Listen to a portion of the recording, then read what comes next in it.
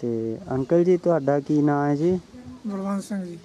ਤੇ ਅੰਕਲ ਜੀ ਜਦੋਂ ਤੁਹਾਡੇ ਬੇਟੇ ਨੂੰ ਮਤਲਬ ਪੁਲਿਸ ਨੇ ਚੁੱਕਿਆ 2007 ਚ ਤੇ ਤੁਸੀਂ ਉਸ ਸਮੇਂ ਦੌਰਾਨ ਕੀ ਭੱਜ ਦੌੜ ਕੀਤੀ ਆਪਣੇ ਬੇਟੇ ਲਈ? ਸਾਨੂੰ ਦੱਸੋਗੇ ਕਿੱਥੇ ਕਿੱਥੇ ਤੱਕ ਤੁਸੀਂ ਗਏ? ਭੱਜ ਦੌੜ ਤਾਂ ਇਸ ਤਰ੍ਹਾਂ ਕੀਤੀ ਜੀ ਜਦੋਂ ਅਸੀਂ ਜਾਂਦੇ ਸੀ ਥਾਣੇ ਜਾਂ ਕਿਸੇ ਪਾਸੇ ਨੂੰ ਸਾਨੂੰ ਤਾਂ ਇਹਨਾਂ ਦੇ ਇਹਦੇ ਮੂੰਹ ਤੱਕ ਵੀ ਨਹੀਂ ਜਾਣ ਦਿੰਦੇ ਸੀ ਵੀ ਕੀ ਗੱਲ ਹੈ ਕੀ ਨਹੀਂ। ਬੜਾ ਬਹੁਤ ਸਾਨੂੰ ਤਾਂ ਇੰਨਾ ਪਰੇਸ਼ਾਨ ਕਰਦੇ ਸੀ ਵੀ ਹੱਦ ਤੋਂ ਬੇਹੱਦ ਜ਼ਿਆਦੇ। ਕਦੇ ਘਰੇ ਆ ਕੇ ਪਰੇਸ਼ਾਨ ਕਰਨਾ ਕਦੇ ਉੱਥੇ ਕਹਿਣਾ ਆਜੋ ਤੁਹਾਨੂੰ ਮਿਲਾ ਦਿੰਨੇ ਆ। ਫੇਰ ਨਹੀਂ ਸਾਨੂੰ ਮਿਲਾਉਣਾ ਤਾਂ ਬਹੁਤ ਜ਼ਿਆਦਾ ਪਰੇਸ਼ਾਨ ਕਰਦੇ ਸੀ। ਜੀ ਫਿਰ ਤੁਸੀਂ ਕਦੋਂ ਦੇਖਿਆ ਆਪਣੇ ਬੇਟੇ ਨੂੰ ਪਹਿਲੀ ਵਾਰ ਜਦੋਂ ਇਹਨੂੰ ਥਾਣੇ ਚੁੱਕਿਆ ਹੋਇਆ ਸੀ? ਪਹਿਲੀ ਵਾਰ ਇਹਨੂੰ ਉਸ ਟਾਈਮ ਦੇਖਿਆ ਜੀ ਜਿਸ ਟਾਈਮ ਇਹਦਾ ਬਿਲਕੁਲ ਬੁਰਾ ਹਾਲ ਹੋਇਆ ਪਿਆ ਸੀ। ਬਹੁਤ ਜ਼ਿਆਦਾ ਕੁੱਟਿਆ ਮਾਰਿਆ ਹੋਇਆ ਬਹੁਤ ਸੀ। ਜ਼ਿਆਦਾ ਜੀ। ਰੋਣ ਆਉਂਦਾ ਹੈ।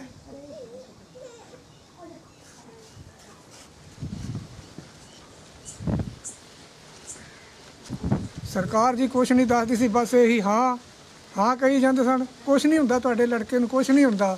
ਤੇ ਬਸ ਤਾਂ ਹੀ ਪਤਾ ਲੱਗਿਆ ਜਦੋਂ ਕੇਸ ਪਾਤੇ ਤੇ ਜੇਲ੍ਹ ਭੇਜਤਾ। ਫਿਰ ਉੱਥੇ ਅਸੀਂ ਕੀ ਕਰ ਸਕਦੇ ਸਾਂ? ਮਗਰ ਭੱਜੇ ਨਸੇ ਕਦੇ ਕਿਸੇ ਨੂੰ ਮਿਲ ਕਦੇ ਕਿਸੇ ਨੂੰ ਮਿਲ। ਕੋਈ ਸਾਡੀ ਸੁਣਦਾ ਤਾਂ ਹੈ ਨਹੀਂ ਸੀ ਜੀ।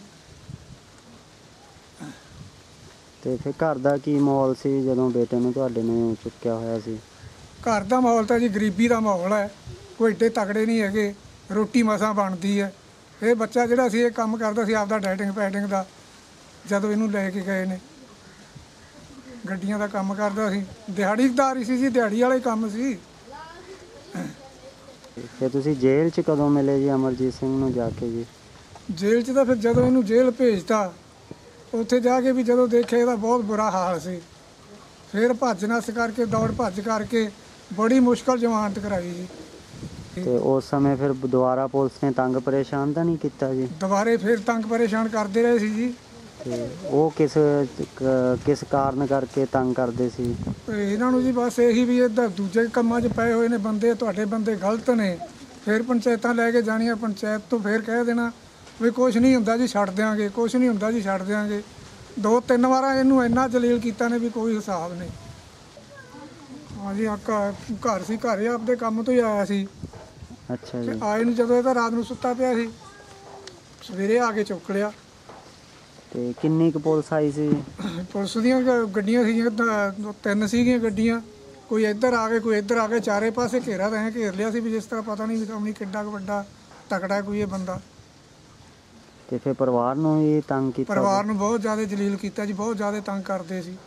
ਉਹ ਤਲਾਸ਼ੀ ਵਗੈਰਾ ਵੀ ਲਈ? ਤਲਾਸ਼ੀ ਵਗੈਰਾ ਵੀ ਲਈ ਸੀ ਜੀ ਸਾਰਾ ਘਰ ਦਾ ਸਮਾਨ ਵੀ ਭੰਨ ਤੋੜ ਕਰਤਾ ਸੀ। ਭਾਂਡੇ ਮੰਜਿਆਂ ਤੱਕ ਭੰਨ ਤੋੜ ਕਰਨ ਤੱਕ ਗਏ ਸੀ ਜੀ।